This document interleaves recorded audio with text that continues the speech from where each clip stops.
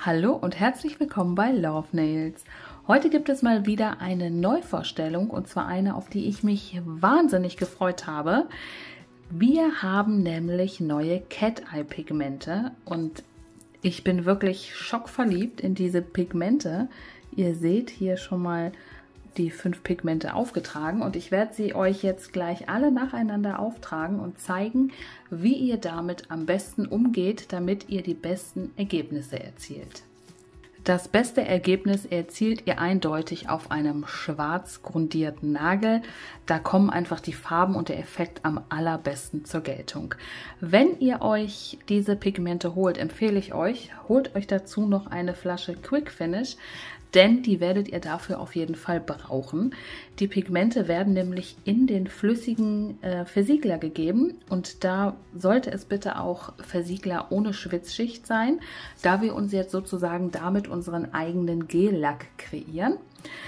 Ähm, und ganz, ganz wichtig, immer nur einen Pinsel nehmen, mit dem ihr auch in Glitzer arbeitet, denn ein Pinsel, ähm, der vorher in den Pigmenten war, den kann man einfach für Volltonfarben dann vergessen. Also diese Pigmente darin sind so fein, damit äh, versaut ihr euch jede Volltonfarbe und das wäre ja blöd. So, wir beginnen mit dem silbernen Pigment. Bevor ihr diese Tiegelchen öffnet, klopft bitte einmal oben drauf und ein bisschen an den Rändern, damit sich das Pigment in der Mitte sammelt. Und jetzt Seid nicht erschrocken, schockiert oder womöglich gar sauer, weil da so wenig drin ist. Das ist überhaupt kein Problem. Man braucht nämlich auch nur ganz, ganz, ganz wenig.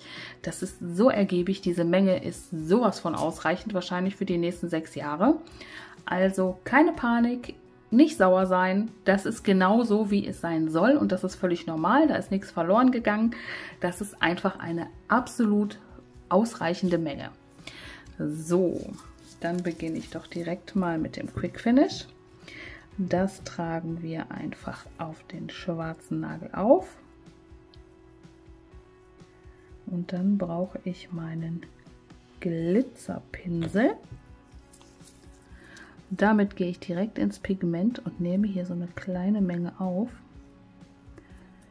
So. Und seht ihr, das ist fast alles, was wir brauchen. Und darum reicht euch das ewig.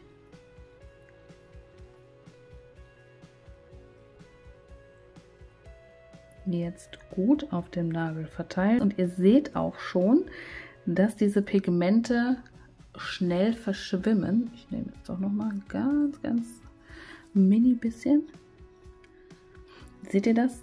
Wie sie schnell weglaufen und aus diesem Grund habe ich die Stablampe hier liegen. Ich glaube, fast jeder hat ja im Moment oder ja, neuerdings so eine Lampe zu Hause liegen. Und die ist hierfür absolut super. Ich halte jetzt meinen Magneten hier drüber und zeitgleich einfach mal kurz die Lampe damit mir die Pigmente nicht wieder verschwimmen, sobald ich den Magneten hochnehme. Den Fehler habe ich nämlich die ersten Male gemacht. Ich habe nicht daran gedacht, dass die Pigmente ja einfach lose in dem Gel rumschwimmen und wenn ich den Magneten dann wegnehme, zack, dann ziehe ich die Pigmente wieder mit hoch und das äh, wollte ich eigentlich gar nicht. Also dachte ich mir, härte ich die doch einfach direkt an, wenn ich den Magneten drüber halte und das klappt einfach wunderbar. So, und jetzt gebe ich das Ganze nochmal in die Lampe und lasse es 120 Sekunden aushärten. Das ist wirklich wichtig, 120 Sekunden, denn die Dichte des Gels hat sich durch die Pigmente ein bisschen verändert und es braucht einfach die doppelte Aushärtungszeit. Und anschließend werde ich das Ganze nochmal versiegeln. So, hier habe ich schon Versiegler aufgetragen. Jetzt nehme ich mir hier wieder ein bisschen was von dem Pigment und gebe es hier auf den Nagel. Und seht ihr, das ist eigentlich total wenig Pigment und trotzdem fällt es mir hier vom Pinsel. Verrückt. Gut. Also auftragen. Wenn ihr das am echten Finger macht, funktioniert es ja ganz genauso. Wenn ihr keine Stablampe habt, dann äh, stellt einfach eure normale UV-Lampe an und stellt sie vielleicht so ein bisschen auf und haltet das dann so ein bisschen davor. Es muss ja nicht direkt äh, unter der Lampe passieren. So, hier sieht man gut, wie sie verschwimmen, die Pigmente.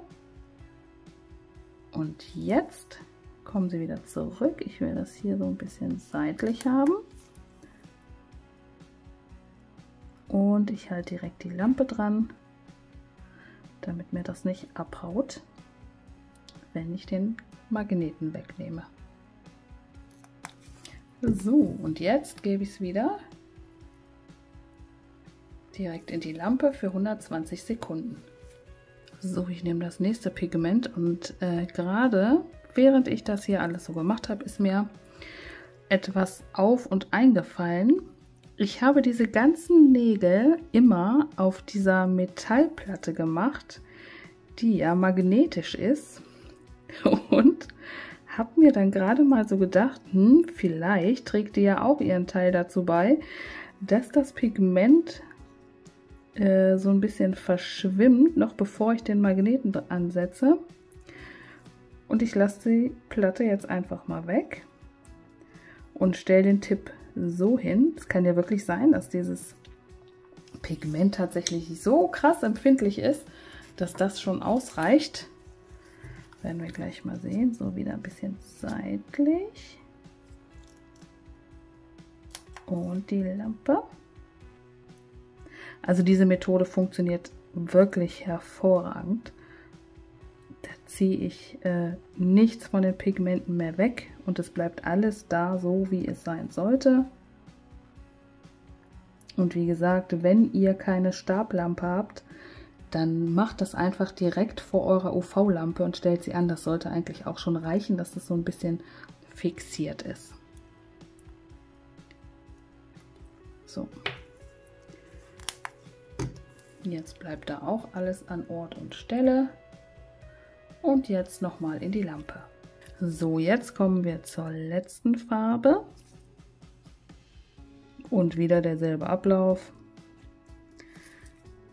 Ihr habt es ja jetzt schon ein paar Mal gesehen. Zap, zap.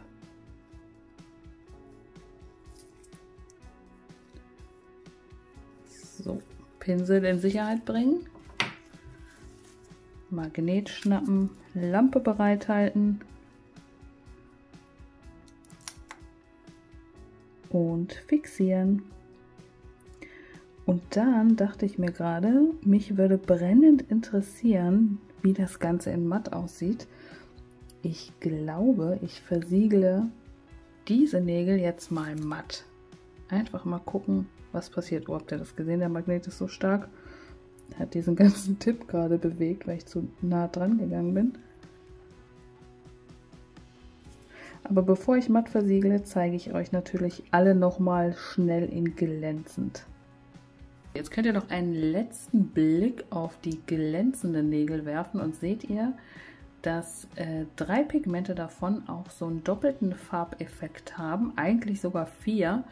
Hier sieht man es nur nicht so gut. Hier ist nämlich noch so ein Blauschimmer dabei. Blau und, ah, ich würde es Türkis nennen. Hier hat man Türkis und Lila. Hier hat man Lila und, ja, ich würde sagen irgendwie so Blau. Silber ist Silber. Und hier ist Pink und Orange, würde ich jetzt sagen. Und die Effekte sind einfach mega, oder? Das leuchtet richtig, richtig, richtig gut. Und jetzt wage ich es und versiegle alle fünf matt. Jetzt seht ihr euch in matt an. Natürlich knallen die Farben dann nicht ganz so, aber ich finde trotzdem, dass es richtig, richtig cool aussieht. Ich habe ja sofort die Vision oder das Verlangen und den Drang, da jetzt so ein paar Sterne drauf zu malen. Ich glaube, ich mache das jetzt auch mal bei einem Nagel und dann haben wir eine matte Galaxie. Ich bin gleich wieder zurück und habe dann ein paar Sternchen gemalt. Ich kann euch sagen, dass ich nicht übertrieben habe, als ich gesagt habe, ich hatte diesen Drang, das zu machen. Es war wirklich so. Ich hatte das kaum unter Kontrolle und ich finde, es ist echt mega. Das gefällt mir richtig gut und es wird auch garantiert auf glänzenden Nägeln richtig toll aussehen, weil die Farben dann nochmal viel, viel mehr knallen. Aber so ist es doch schon echt ein richtiges Highlight, wenn man das auf dem Finger trägt. So, jetzt genug von meinem Gefasel. Auf, auf in den Shop und Cat Eye Pigmente gekauft plus Quick Finish. Und dann wünsche ich euch ganz, ganz, ganz viel Spaß beim Kreieren von wunderbaren Katzenaugen, Galaxien oder einfach ganz normalen Cat Eye Effekten. Also bis zum nächsten Mal, macht's gut, tschüss!